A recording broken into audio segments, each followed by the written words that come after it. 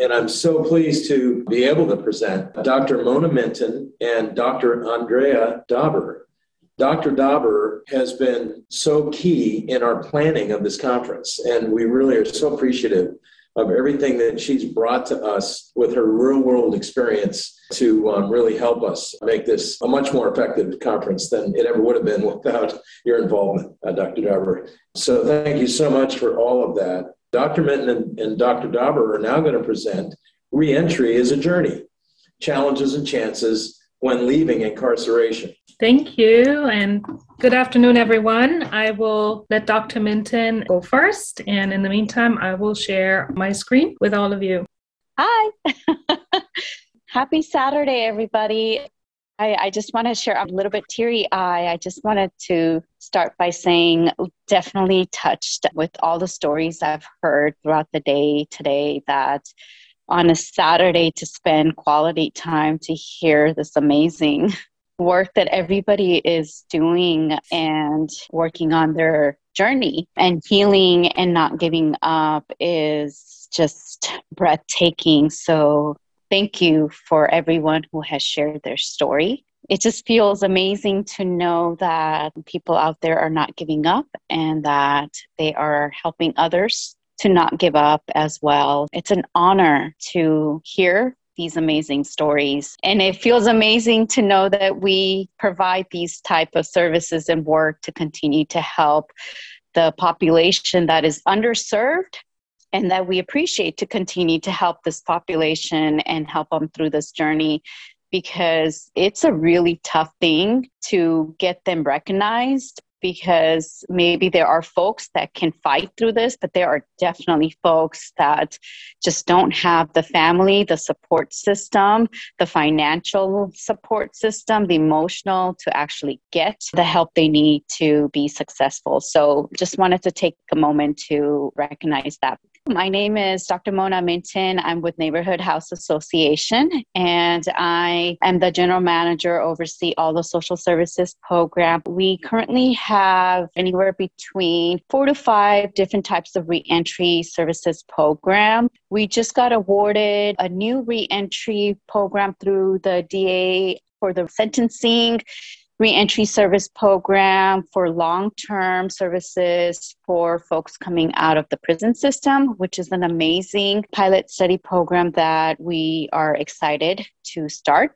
I would like to turn it over to Dr. Dauber Griffin, who will talk more in detail what we do. NHA is extremely well known in the San Diego County to provide more so on the Head Start, early Head Start services for children from infant to age five for educational services for Head Start. And we have 17 to about 20 social services programs, such as Black Infant Health, HIV programs, senior centers, adult day health care.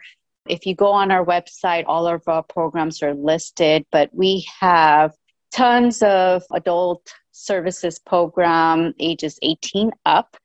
And we are very well known in the San Diego County. We are one of the largest nonprofit program. We are actually rated one of the top nonprofit in San Diego County.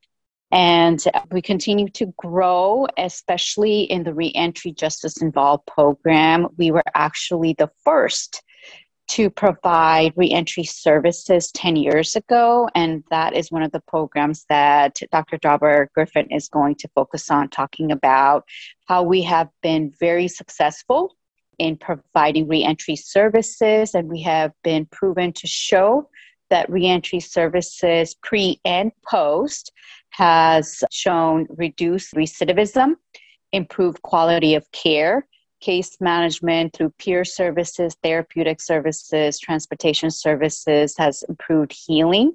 Employment services has improved quality of care for success in relationship building, quality care through mental health, substance use reduction with use, going into group services such as NA, AA, and also evidence based practice group services as well. So, I will turn it over to Dr. Dauber Griffin and any questions we will answer after the presentation. Thank you. Thank you, Dr. Minton. You just helped my entire presentation. I guess I'm ready to take questions. no, I don't think so. Nice try. Thank you. And hello, everyone. My name is Dr. Andrea Dauber Griffin, and I'm the Senior Executive Director over NHA's InReach Entry Entry Programs. And I'm also on the board of UNA San Diego chapter. And it's a true pleasure to be here today and spend time with all of you.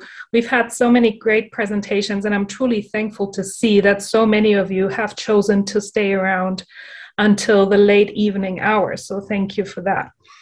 I want to kind of highlight also that the majority of our experiences with jails. So we've kind of talked a lot about prisons throughout the day, and incarceration obviously is also something that pertains to the jail system. So I have put together some challenges as we're talking about this transition from incarceration to the community if you were around for Lawrence Larry's talk earlier, you heard him talk a little bit about what those challenges might look like. And we have generally individual level challenges, but we also have system level challenges. And you can see here on the left hand side, I've listed some of those individual level challenges simple things such as obtaining a, an ID or a driver license. A lot of folks have accumulated tickets that will not allow them to actually obtain their driver license back unless they pay off their tickets, for example, or unless they take DUI classes, which also cost money. And a lot of folks who come out of incarceration just simply don't have the financial means to be able to do that right away. But they need to get places, they need to get around. They're as busy, if not busier, than many of us are. And if you rely on the public transportation system, it can be very difficult and challenging to get to all of your appointments on time. So, for example, transportation assistance is usually a huge need for individuals who come out of incarceration. And there's other things such as finding a place to stay. Not everybody can go to a halfway house. Typically, if you come out of uh, prison, stay prison, you may be afforded that opportunity. But if you come out of jail, you can't go to a halfway house. And it really depends on the county that you are coming from what has that county put together as far as resources and a support service system for those who are incarcerated in jails? And so a lot of the jailed population actually return routinely back to the streets, right back into homelessness, which is where they came from. Then we have, of course, financial resources is a huge issue. We specifically focus on those who live with serious mental illness and co-occurring challenges, right? So they live with serious mental illness and they live with substance use disorders. And when you are burdened with these disorders, it is very difficult to function at a level where you can secure employment, pursue employment. A lot of the time, clients or participants are able to secure employment, but they can't maintain it, uh, perhaps because they can't you know maintain their mental health in a way that is conducive to maintaining their employment. And so typically financial resources are a huge problem. Some clients or participants receive ssi or ssdi but not all of them do. So a lot of what we do, and I'll talk a little bit more about what we do in a minute, um, but I kind of wanted everybody to get an appreciation really for the multitude of challenges that arise when people come out of incarceration and so sometimes what we're able to do is help program participants connect with employers, maybe even obtain a job, and then coach them along the way to make sure they can stay employed. We are dealing with issues around creating a different meaning in life. You've heard about this from our speakers today who have been incarcerated, who spend time in prison and jail, kind of having to, I think Lawrence said that very well when he said, I had to learn that everything I knew and everything I thought was true was wrong. And that is a very difficult transition uh, for anybody, frankly, in life to have to come to the realization that the way you think, the way you believe, and, and what you hold dear to your heart may not be the way in life and may continuously get you in trouble. So, kind of working with folks who come out of incarceration to question their life histories, their life stories, and help them build a new narrative, something they can lean on and work towards, is obviously a challenge in and of itself. And then we don't talk about it much, but also addressing those criminal thinking patterns that a lot of people struggle with while they're still incarcerated and after they've been incarcerated. So, uh, addressing criminogenic risks and needs is extremely important, and evidence based programs typically strive to do that, which is why they're evidence based. They lean on research that has been shown to highlight factors that have been um, associated with recidivism, right, which is the return return to criminality. It depends on how you define it. Could be the return to criminality, could be the return to jail or prison on the system level, there are so many issues, and I think we've touched on some of those throughout the day today. But for example, we are a service provider who likes to work with peers. We call them peer specialists. Those are essentially individuals who have spent time incarcerated and who have come out of incarceration, have turned their lives around, and are now looking to give back to the community through serving as a peer or as a peer specialist. We actually have a training program for peer specialists specialists with incarceration history. It's called the Peer Reentry Leadership Academy. We train peers, they go through our academy, they come out, they graduate, and they are ready to go into jobs, paying jobs uh, where they can now work with individuals who are incarcerated and coming out of jail or prison. But to get them clearance to where they can go into those institutions is really a huge barrier. There are many other system level barriers that I could talk on forever. And the reason I could talk on forever is because this is my daily bread bread and butter. These are the daily issues that we confront in our work with individuals who leave incarceration. So, what are the available solutions? What we have found in our programs is that what works really well is establishing that pre to post release care transition, right? So we start working with individuals while they are incarcerated.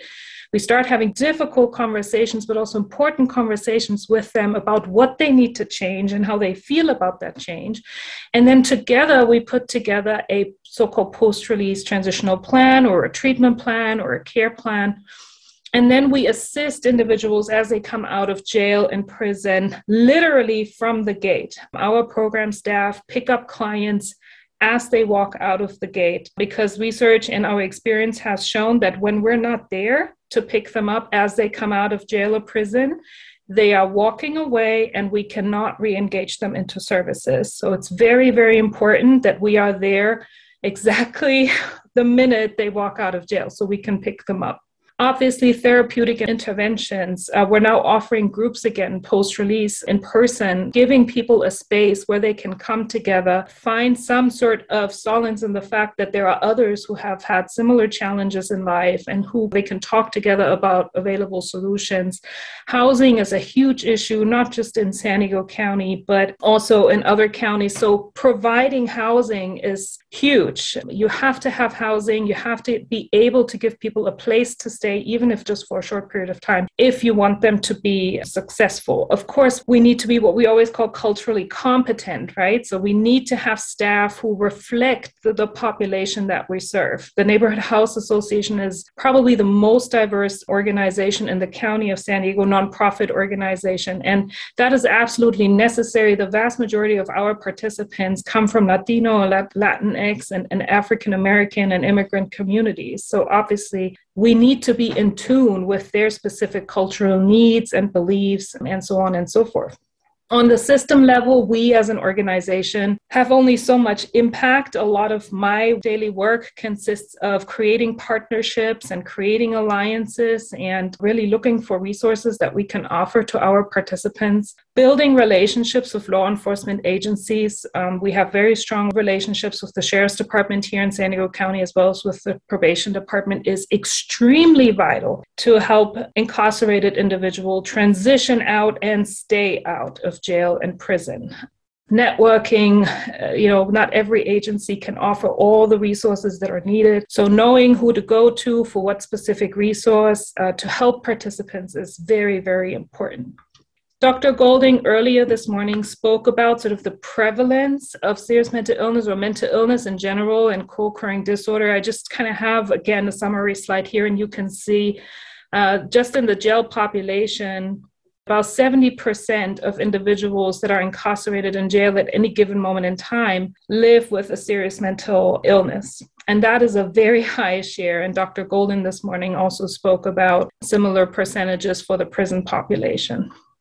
So, what are our goals? Dr. Minton briefly alluded to this. So, of course, we want to assist individuals with being better able to manage their mental health, their general well being, physical health. We have recently added nurses to the team. We're extremely happy about that because a lot of our program participants have real serious unmanaged physical health issues that have been lingering for a long time. We want to make sure that as people come out of incarceration they experience a organized safe transition back into the community where they can connect with other service providers that will meet their needs. That could be anything from social services to housing to family-based services. There is a wide range of need that we usually find in our population so we have to make sure we meet all of those needs. We advocate to reduce the stigma around mental health and substance use, and it's sometimes very difficult to be able to talk about these things. So, our staff and our peer specialists, especially, are there to help participants have these conversations in a safe space that is trauma informed, where individuals are not retriggered and where they can take their baby steps forward. And of course, as I mentioned, we train peers that have that lived experience to serve as leaders in reentry, and we do want to bring them back into our workforce. And some of the services we offer, clients or participants can choose um, between and among all of these services.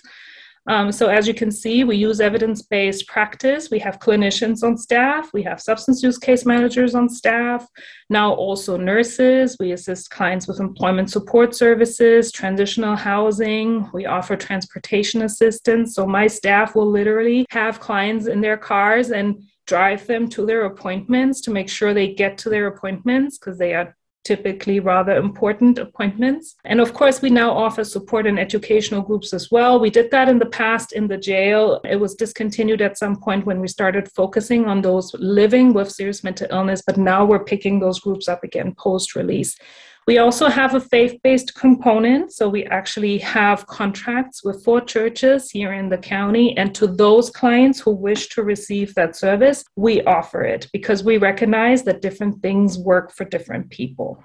Just want to briefly highlight does the service that we offer work? And just based on the limited data that we collect, yes, it works. We have a reduced recidivism rate. So our services started over 10 years ago. The cumulative recidivism rate is only 20%, right? So across all the past 10 years, measuring how many of our program participants return to incarceration, that rate is 20%. Very important, over 80% of those that come into our programs and release from jail or prison actually start services with a behavioral health provider. That is also very important because usually there's a drop um, in people connecting to those services as they leave incarceration. And over 50% of those who go through our programs end up being able to self sustain. They are able to pay their rent, they are able to maintain employment. And those are the three main markers we use just briefly highlight the call to action. What can you do? This is incredibly important work. And I will tell you, this is also very difficult work. The burnout, burnout rate is high among staff, um, especially for individuals who come out of jail, usually poorly medicated, uh, often have no place to go we are there at the front line. And so, what can you do to support? Well, you can choose to volunteer or give time to a program or to organizations that serves those who are incarcerated, whether it's in jail or in prison. You can also become politically involved, educate yourself about important criminal justice bills that go through the legislature of your state, and find out how you can become a part of advocacy or opposition for bills that are currently um, on the table. And of course, you can attend future conferences, whether it's with this coalition or any other board or agency or committee, and continue to educate yourself. And lastly, of course, you can get in touch and talk with us. I have included our email addresses here. And again, I want to thank you all so much for staying around and listening. And we'll be happy to take any questions you may have. Uh, just a quick one What is a warm handoff? Oh, that's a great question. So, a warm handoff is when you have a participant in a program or in a service and you need to get them connected to another provider for their specific programs or services. And so, you know, in our world, we talk a lot about referrals and such, but when what our experience is when we give somebody a phone number and say, call that organization or call that program, it simply does not happen. And it has a lot to do with the trauma that people carry, you know, issues around self advocacy. And so, what we do is a warm handoff. What that means is we take the participant, we help them organize that appointment, right? Or even getting in touch with the other service provider, because sometimes that's a challenge. And then we literally make sure we take them to their appointment and hand them off to a staff member, to somebody that we know at that organization so they can seamlessly continue services with them. That's what a warm handoff is. Oh, thank you. Sounds wonderful. Mm-hmm. I could use some of those. yeah. Sometimes we all can use warm handoffs for sure. Are people released to the care of your agency? Because I was kind of interested when you said yes. you had to pick them up. Yes. But and so they are released to the care. Is that on parole? Well, you're dealing with jail, right? So we have a system in place in the county where that is why I mentioned the strong collaboration with the Sheriff's Department and Probation Department because client or individuals are referred to us while they're still in jail or prison. So we at that point go and visit and explain to them what services are available. And if participants want to come into the program, we complete all of that intake right while they're still in custody. And then, yes, they get released to us. They can obviously choose to get released to self we don't force them to get released to us, it's an option, but the vast majority of program participants choose to get released to us because they know we will be there to pick them up. We will make sure they have clothes, we will make sure they have food, they have a place to stay, and all of those services are not easy to come by when you're on your own. You don't have an ID, you don't have a phone, you don't have transportation, or none of that is in place. It's very difficult to accomplish all of that. So, because I know you said you collaborate with other agencies. Like, let's say I was just coming out of jail mm-hmm. and I didn't have a place to stay. You don't run halfway houses, though. So. I, be collaborating with another agency? So we don't run halfway houses. What we do is we have contracts in place with, with housing providers in the county. But those are housing providers that accept justice involved as well as not justice involved residents into their homes. And who pays for that? Does the person coming out or, or your agency? We have several contracts. They could be county contracts or state contracts um, and that is how we pay for those services so when we when we go in and bid for a contract we make sure to put money down for those essential services as opposed to putting it into salaries or whatever else we make sure we cover those basic services so that we can offer a wraparound model. And how many people do you serve in general, like every month or so? In a fiscal year, we serve over, I think we're up to over 700 um, individuals that come out of custody. And I, I, always like to say this when I started in 2016, I had about three and a half staff.